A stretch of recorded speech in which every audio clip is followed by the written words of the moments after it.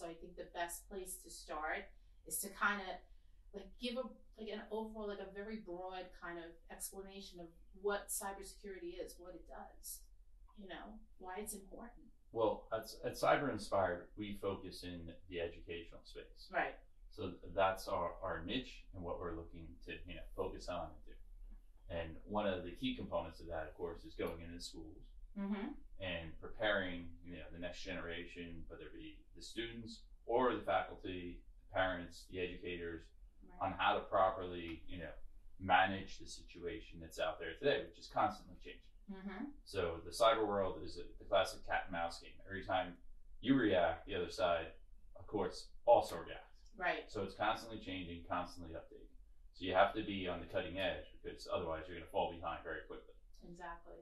Um, but you touched on some things there, digital citizenship. Some people don't even know what that is. Right. I, I didn't originally know what that is either. And that's Mhm. basically, in a, a layman's term, it's your social media presence Okay. and, and everything you put out there, whatever, whatever platform it may be on, like online or on apps or wherever you're doing your your your media posts or whatever you want to call right. Um, you have to be aware that that information is out there forever. hmm So Do you think Yeah. people really believe that? Because I don't know that people actually believe that when they put something that's- online, Yeah. it is out there forever. Well, It's obviously- forever. Obviously, they don't because there won't be so much out there that people are afraid of now. That I know. Like, you know, Yeah. especially young people. yeah. yeah, I mean, we'll say it again. It's out there forever. Mhm. So when Snapchat says, you know, that's it, you post it's erased. Don't worry, it's on a server somewhere being Right. held. So everything's there forever. Everybody's got to get their head around that. It's there forever. And anybody, and, and especially when you have younger kids, because Snapchat, you know, I have nieces and nephews. Um, they range from eight to 20 now. Um, they all use the same things. They all think it's fun. I'll be honest with you, I've had like a little glimpse every now and then into what my niece's Instagram stuff looks like when she and she doesn't think like her older family members can see some of her contact when when I had to like sit there and text her and go, You need to pull this back, little girl. Like hmm. no no no no. Like no, this is the this is the wrong thing and well nobody's looking at that if that's what it is. Nobody but my friends are looking at it. That's not true. Everybody can see it. And screenshots can be taken. Yes. Yeah, I think saved. Yeah, like I, I don't. What is? What do you think we have to do to get people to understand? This is like a. This is a real issue. This is a real issue. You bring up a couple great points there. Um, yes, it's it's with you forever. Whatever you put out there is out there forever, and you are going to be judged on that. Yes. So it's it's crucial that you understand the impact that it can have. So Mhm. before you post anything, you really need to think about do I really want this up there? And, and what are the repercussions of this? And not only just everybody wants instant gratification. I get it. They want more followers. They want a great pick up there or, or a great uh, great story to tell. Mhm. So they get recognized. But with that come comes the ultimate, you know, the vice versa, which is you may be trying to get into if you're a younger person, you may be trying to get in college or, or start a career, and don't worry, your your employer is going to be looking at those pics. Yes. I mean, there's a couple classic, you know, classic stories out there of uh, people trying to get scholarships, whether it be athletic or academic, and then they have numerous social media posts up there with uh, the the dreaded red solo cup. Uh, yes. They're going to throw a poor red solo cup uh, under the bus here. Yes. But of course, that insinuates that you could be possibly imbibing alcohol. Mm-hmm. You can be So, and, and, and if right, and it's down to two specific candidates that are very close. Something like that can literally move the seesaw in one direction or another. Yes. Something so simple. Yeah. So you need to understand the the impact of all that right. and, and what it has on you and, and everyone around you. Um, and, and not only as young adults, who obviously it's crucial for them because they have so much going on and they have their whole life ahead of, ahead, ahead of them and they're trying to get, you know, start their careers and find their career path and all that. But even as adults, um, I love when people post like, "Oh, I'm going away on vacation and be gone this amount of time in this area." It's like, "Hello, why don't you just invite someone to rob your house? Because we know now you're away from this time to this time, and we know, yeah, and we know exactly when, so nobody's likely home, or there's a good chance. So if I'm in the, you know, I'm in the business of robbing homes, you just sent up the, the, Yeah. the put out the welcome mat saying, "Come take it." You're right. It's You know, so I always tell people you have to be very strategic on how you do that. Like, of course, everybody wants to post their, their vacation pictures and all that kind of stuff. after the fact. Do it after the do fact. it after the fact, or you don't have to put a time frame on it. You could put a loose, loose interpretation, like, oh, I was, I'm on vac- was on vacation, or Mhm. coming back from vacation this day when you're really not. Right. Just change the, you know, leave it open to interpretation, so it's not a defined time frame when you're away. Yeah. You're just letting everybody know you're away. The other thing I want to add is for people that are watching your animals. Like I, I for some reason I am like the world's dog sitter. We're going maybe because they know that I'm home all the time. oh, I have my dog. I'm going away. We're doing that. I never, ever, ever post that. I'll only post when they come back that I was watching someone's dog. Uh-huh. But I notice online.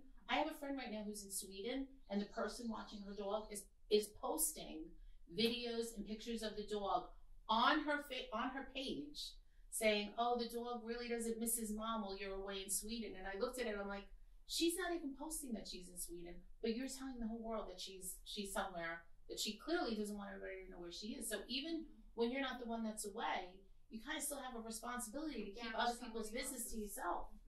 Yeah, or you need to make them aware. I mean, obviously, Yeah. the, every, of course, the reach extends over and over and over again Mhm. with every person you tell what you're doing, and if they repost or Exactly. or share, to your point, Absolutely. then it's extending out further and further, and you're getting a wider and wider audience, which of course is opening more and more doors to potentially something um, Yeah. getting out that you don't want to get out. So I want to go back because you said something about the red solo cups. So my daughter is when my daughter was in high school, that actually was just starting to become a thing where they were being taught, look, if you're if you're if you're posting pictures of you with your red solo cup, put that away because the colleges now they can get in, they can see your pages. And I know back then the kids were kind of like, can they really? And my daughter took it seriously because she played sports and she didn't drink, but she was so like, Mom, we can't post anything because, you know, I said, yeah, that's fine, great. But what was not an issue then, that is a big, big issue now, which is in the paper, it's on TV, it's everywhere, um, was cyberbullying because of the age that she's at. When she was in middle school, she was she was bullied. She she was definitely I'm definitely the mom of a of a kid who was bullied but um, I guess it was more old fashioned bullying because they were just getting their phones and the kids kind of didn't know how much power they had in being able to really Right. upend each other's lives. Nowadays, it's everywhere. Nowadays, you can go anywhere on social media, you see it on the news. These kids are really Well, kind of like destroying said, each other. Growing because of the power they have now with the with the digital Yeah. world. I it's mean, a whole different. so it's a twenty-four hour day problem. Yeah, it's 24 hours, seven days a week. So I know Cyber Inspired has a cyberbullying program. They have um, a digital, I'm sorry, a digital citizenship program. We've got both. You've got both, but yeah, you've got both. So they kind of, well, yeah, they cross One- over one, into one each does other. cross over. so they are sister explain programs. it because and it- I, to me, I, I think every every school should have it. Um, I agree with you 100% on that. And um, we certainly are the experts. So a lot of, we love to like work with local law enforcement or the prosecutor's office or who's ever already delivering. Because to be quite honest, uh, just the feedback we get from them is they're like, we're overwhelmed. Yes. We, we have a lot on our plate. We're certainly trying to do the best we can. Mhm. But if you guys can support us, give us more information, we're all about, you know, at the end of the day, providing the best programs we can provide and help us out any way you can so we are actually getting to the root of the problem. Mhm. Um, with cyberbullying, there's a couple keys. First, you just have to understand what it is. What is and isn't cyberbullying? What is it? Well, that that's that's a great. Question. You have to get the program for that one. Though. You can't, can't give away can't give away all the keys to you know to all the safes. yeah. So you have to buy the program for that. Yeah. But um, that that's part number one, just understanding what it is and what it isn't. Mm-hmm. And then um, you both already discussed this. It's how it's evolved in the digital age. So back in uh, my day, when I before the digital age, and when I went to school, you you could possibly get bullied, of course, Mm-hmm. Yeah. and and it would t- traditionally take place at school or maybe in some after school activities where you know you were present with your friends or your you know Yep. other students. Um, now it's a 24/7 program, which Julie's already stated because with social media, it's on all the time. So now you can't escape and go home because your social media is out there right. and, and people are on it and they could, you know, potentially make uh, disparaging comments about you and, and then it goes on and on and the back and forth begins.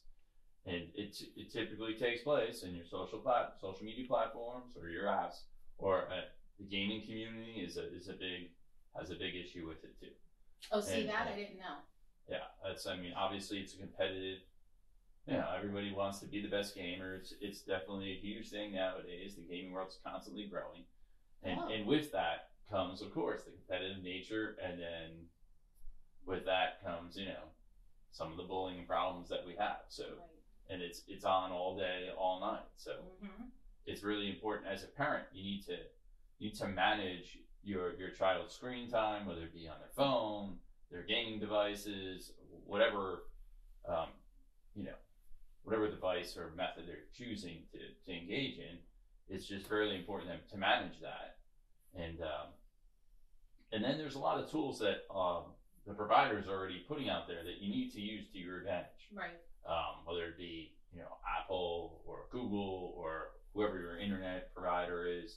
Um, they all have parental tools that you can use. Uh, most of them are fairly simple. A couple of drop down menus you can turn on some of the basic features. It's always a tricky question: how much monitoring is too much, Yes. and and how much isn't enough? And it, like I said, turning on the parental tools is is a good first step, but you don't want to be um, overly into their, you know, everything. It's a balancing Right. act. I feel like And- they're afraid to tell you anything because they're like, Right. you I know, think most parents would be afraid of that. Like I know Right. most moms would. I, I agree would with you. close off completely and not be open to you. Yeah. Mm-hmm. Yeah. Uh, and- Snooping on them all the Yeah. time. It's like kind of like when you're going in the bedroom and going through there. Yeah. and- Don't look at my diary. So, so you have a way of telling us in your program how much is too much, or how does that? we we have certainly certain techniques you can do and certain like you said some of the, the parental controls and things you can use to help make your job a little more um, a little easier yeah. uh, we also have uh, we already you know kind of killed uh, snapchat there but we have a whole list of if any, anybody goes to cyberinspire.com you have a whole list of apps and we rate them from least dangerous to most dangerous Yeah. Mm. um, so th- I love that. and and just honestly just knowing the names of the apps would would you know get you some immediate attention from your kids that you know whoa whoa whoa like at least you're in the game now at least you're speaking their language Yes. and you're aware of that and now they know you're aware of these apps that hmm previously they didn't think you know you didn't know anything about Right. so now their antennas are up of course because now it's like Yeah. wow so at least you're in the game and you and you're They know you're aware. They know. Right. Oh, my my parents do kind of know that there are there are apps out there. I did that with a group of kids that I spoke in front of, and I started to ask them questions about the different apps, and they were just like, uh, uh, uh, what? And I could tell that they were stuttering because I knew what some. I didn't know everything about the apps. I Right, I but- just you know, but I just kind of threw it out there to just Yeah. see, like, hmm, I wonder if they do use this app. Oh yeah, well, oh yeah, I don't even, yeah, yeah, we do use that app, or that is, yeah, that can be that can be a little tricky. These types of people are on those apps. Like they they start to once you start to let them know, like, hey, I know about that. They'll start to tell you a little bit more about the type of people that use those apps, Oh, which could really be to a parent's But- but yeah, advantage. uh, yeah, I mean, just like I said, once again, just being in the conversation, and hmm and you said it best when immediately when they're engaging you and they're aware Yes. and they're showing that, like, uh oh, now you have their attention too. So Yeah. not only that, you have their divided attention. That something's up here, and, and you're understanding what what apps they're on and and what they could possibly be doing. Right. And it's not always clearly there are some apps that are much more dangerous than other apps. But anything, you know, whether it's online or even in your household, can be used for good or bad. You know, Mhm. I mean, a knife can be used to cut a steak, and also it can be used Right. in nefarious activities to severely injure somebody. So Mhm. a lot of the apps are the same way. If you use them with the right intentions, they're okay. But if you don't, then you, you know you're opening up a open yourself up to World Wide Web. Everybody, everything comes with. I just don't think people like get the whole concept of I- the I mean, World Wide we- Web, we- like everywhere. And, and that, and Everywhere. what we already hammered home is that you know it's there forever. See, those two things you just got to get around your, your head around. Like this is never disappearing. Yeah. Like you have, you know, it's a permanent record now. So, and it's not going away. Now these um, the cyberbullying presentations and digital citizenship. What age group are you targeting? Like if you go So- into a school, is there something set up for different ages, or how does that work? There is, and we generally start middle school because that's about the, the age where you're first getting access to a phone, generally speaking. That's usually around 10, give or take, 10 to 12. That's when you're going to first, typically get your first phone. Um, it's highly important at that point that you educate your kids on what comes with it because they're at the infancy of it Mhm. and they're still younger and they're just still learning and they don't really understand a lot about some of the dangers that come with it. So it's extremely important that that starts right there. And then uh, that we also do it in, in high school Mhm. and it needs to be done at least twice a year. If you're in your, your school system, you should be doing it at least twice a year because this, this is like an ever changing, which we've already discussed. The cat and mouse game is on. We do this, the hacker does that, back and forth, back and forth. Yep. It's never going away. And I don't is, think that you can say that enough times. I think Uh, it- the, it's- the thing it- people need to right. understand is it's ever changing Right. all the time. Right. And you have to constantly stay, you know, up to date on this. You can't just sit back and be like, ah, we did it and now we know because it's going to change. Right. There's no sitting on your laurels. There's no Yeah, saying, yeah, "Oh, we can sit back now because we've done everything we possibly can." No, you have to always be diligent and aware that something has to be done constantly. Yeah. I mean, it's, it's just, it's our life now. And, Mhm. and it's not going away, whether you're a, a you know, young adult or, or an adult. Right. This is, this is the real life of this, This is situation world. is our forever now. Right. So And we're, we're all living Yeah. live on social media hmm you all the time. So whatever we put up there, it, it's staying there forever. So Well, that's why I think it's really important for people to know that there's a place, there is a company like Cyber Inspired that understands a lot of the things that someone like me, like just a normal everyday person, doesn't understand.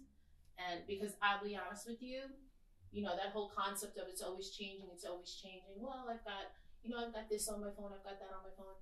No, until I started working for Cyber Inspired, I realized that's not enough. You have to constantly be diligent with it and to have a company like Cyber Inspired who understands that and can kind of break it down in ways that someone like me can understand it and then kind of build that base up and say, all right, I'm understanding it more and more and more and more. I think makes it even more Yeah. important to get it into the schools sooner rather than later because if you give those kids that base of let's really look at this and understand what you're talking about and they can start at like building blocks, then when they get out into the real world, they're going to be more educated.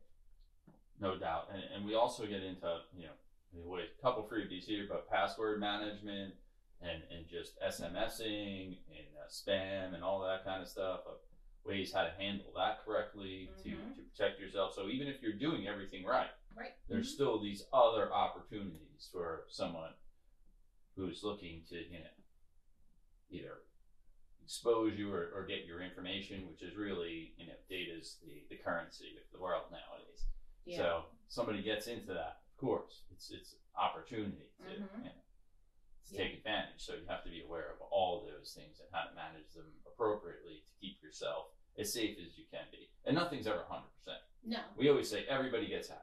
So that's just the But fact that's of life. life. You that's can't say life, you know. Right. Try you keep yourself healthy, you eat good, you exercise, you know, you look both ways when you cross the street. That's no guarantee that, you know, you're gonna wake up the next day. You have to com- you just have to be You have diligent. to be proactive. yes, Right. you have to be proactive. and, and not only that, at least if you're being proactive, then even if something does happen and you do get hacked or you do get compromised, at least you understand or you're in a position to start the remediation quickly. yes. So then you can fix the problem because you or you, you literally put you didn't expose everything. You kind of put things in boxes so you can kind of you can trap right Mhm. hacker and, and segregate them out into a certain space and then start blocking, putting the blocks up to right. to hold them there. So if you're doing nothing, you, it's just you, you just can't be doing nothing anymore. Those if you're days- like me and you think putting I know. everything in the trash can and saying just delete is going to work, it's not working, people. That's what I do. Oh, delete, delete. Oh, it's in the trash. It's gone. No, it's not gone. It's somewhere. And now someone still has access to me. So I mean, there's a and, lot to it. and think of it if you, if you're you know if you're a thief, you're going to take the easiest thing to take.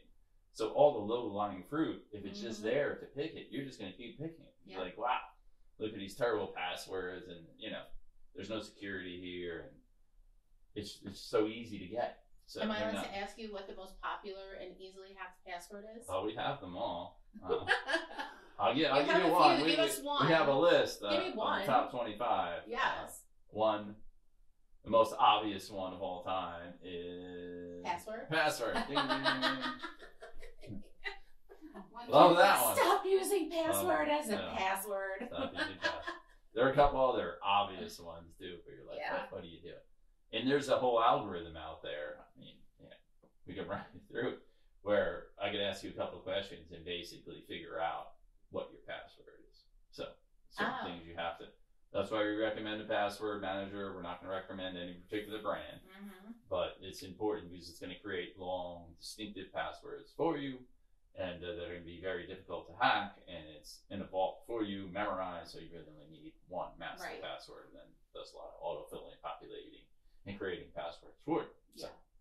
So Just make sure that one master password isn't password. probably, yeah, probably not a good idea to use the word password ever in anything Alright. involving security. So if they take anything, anything from here today, don't use password. Don't use